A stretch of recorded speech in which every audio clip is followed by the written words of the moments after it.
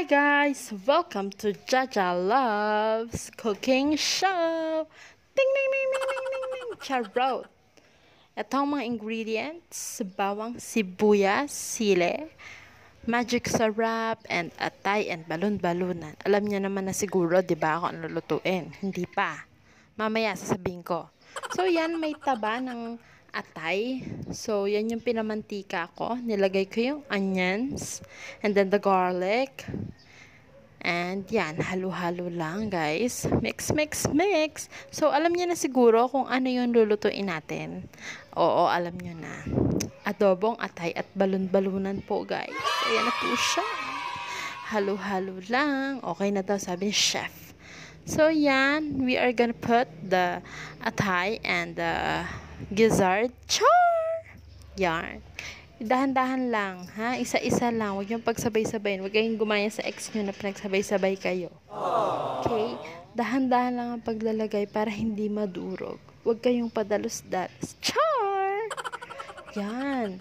So, nailagay ko na po lahat. Ayan na siya. Yarn.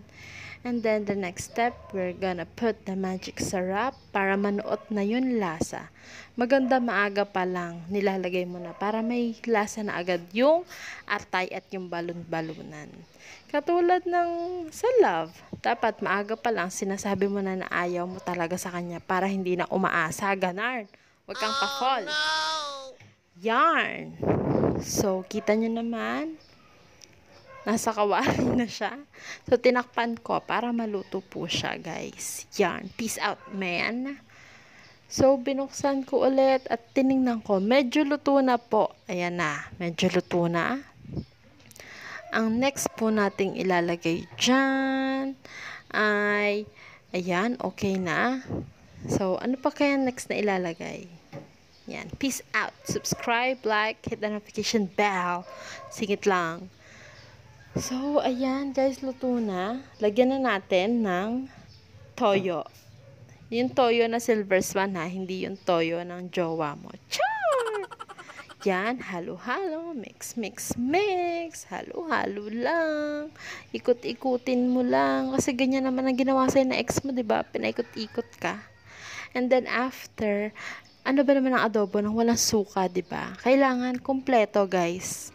Kailangan may suka kasi pag nagmahal ka, kailangan kompleto ricados. Charot, charot, guys. Yan, so nalagyan ko na siya ng suka. Ayan, naluto na siya, guys. Nalagyan ko ng sili at konting asukal. Yan, so medyo may konting pa-transition tayo dito. Oh, natututo na si atengs nyo. Ayan guys, luto na. Luto na ang ating adobong atay at balon-balunan. Ayan na guys, let's open. Taran! Let's have lunch. Kain-kain po. Sana po nag-enjoy kayo and sana natuto kayo.